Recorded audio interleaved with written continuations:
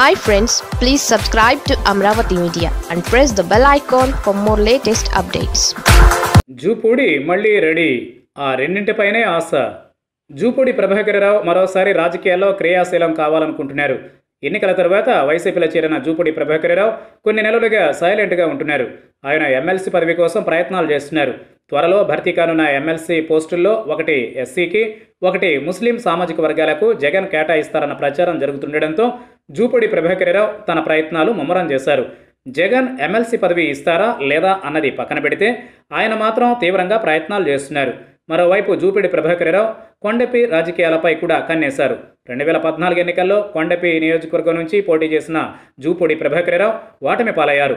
ఎన్నికల తర్వాత వైసీపీ నుంచి టీడీపీలో చేరిపోయారు. రెండు వేల పంతొమ్మిది ఎన్నికల్లో కొండపి నియోజకవర్గంలో తెలుగుదేశం పార్టీ గెలిచింది. అక్కడ వైసీపీ నుంచి పోటీ చేసిన మాదాసి వెంకయ్య ఓటమి పాలయ్యారు. ఆయనను వైసీపీ అధిష్టానం ప్రస్తుతం ఇన్ఛార్జిగా నియమించింది. పీడీసీసీ బ్యాంక్ చైర్మన్గా కూడా నియమించింది. అయితే మాదాసి వెంకయ్య స్వతహాగా డాక్టర్ కావడం రాజకీయాలు పెద్దగా తెలియకపోవడంతో కొండపి నియోజకవర్గంలో పట్టు సాధించలేకపోతున్నారు. ఫుల్ టైం పాలిటిక్స్ నడపలేకపోతున్నారు. ఎన్నికలకు ముందు వరకు కొండపికి ఇన్ఛార్జిగా ఉన్న వరికుటి అశోక్ బాబు కూడా మాదాసి వెంకయ్యకు సహకరించడం లేదు. మాదాసి వెంకయ్య వైవి సుబ్బారెడ్డి వర్గం కాగా వరికుటి అశోక్ బాబు మంత్రి బాలినేని శ్రీనివాసరెడ్డి వర్గంగా ఉన్నారు.